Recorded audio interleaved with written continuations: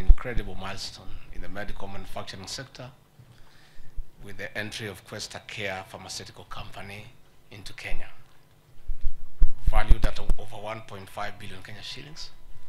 Questa Care has affirmed that our country is an investment destination of choice in Africa. We thank you for the confidence in our country.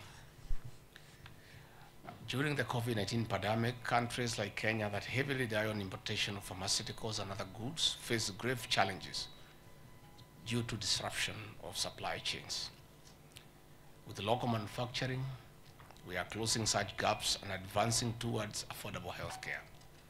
Furthermore, this is a major boost to the realization of the universal healthcare as per the Kenya Kwanza plan. This step of Questa Care Limited investing in Kenya happens at a time the pharmaceutical industry is facing stiff competition from counterfeit drugs. A joint research by the Kenya Medical Association, Kenya Association of Pharmaceutical Industry, and the Pharmaceutical Society of Kenya established that up to 30% of medicines and drugs in the country are counterfeit. It is a syndicate estimated at a close to 15 billion Kenya shillings. Global scale, Africa accounts for up to 42% of fake drugs. The United Nations warns that over 500,000 deaths in Africa are linked to substandard products. Such drugs offer false hope of recovery to patients. In some cases, it may worsen the situation given that the veracity and efficacy of the components are unverified. Distinguished ladies and gentlemen, counterfeits, fake and falsified drugs are a threat to our people. They are a threat to life. They are a threat to livelihoods. Medical drugs are not meant to kill. Drugs are to improve the quality of life. That is why we are encouraging local production to improve availability and affordability of quality supplies. This is one of the ways of edging out bad people dealing with counterfeits. This is a long-term strategy, it is not enough. Our administration is implementing the universal health coverage. We are promoting preventive health care to the grassroots at the bottom of the pyramid. Our aim is to reduce the cost of treatment by half and ultimately set our people free from disease as was defined since upon our independence in 1963. The Pharmacy and Poisons Board must intensify the crackdown on manufacturing and trafficking of counterfeit pharmaceuticals across the country. We have allocated resources to facilitate the regulatory body in delivering on this assignment. Our security agencies are at your disposal.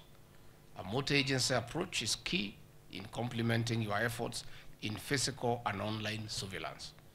Drugs must not kill our people alongside diseases. Already, the disease burden is consuming a lot of our resources, impairing development. Further, the surveillance is not an event. It should not happen today because we have raised concerns.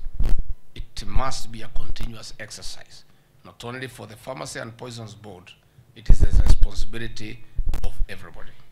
That is why we also need to raise public awareness on how to check the genuineness of drugs via smartphones.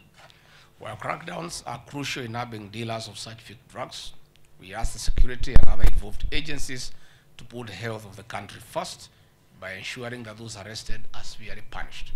Officers aiding the syndicate are not part of us. They belong to jail.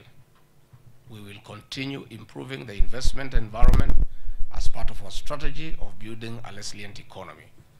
We are promoting local production for better, for better health outcomes.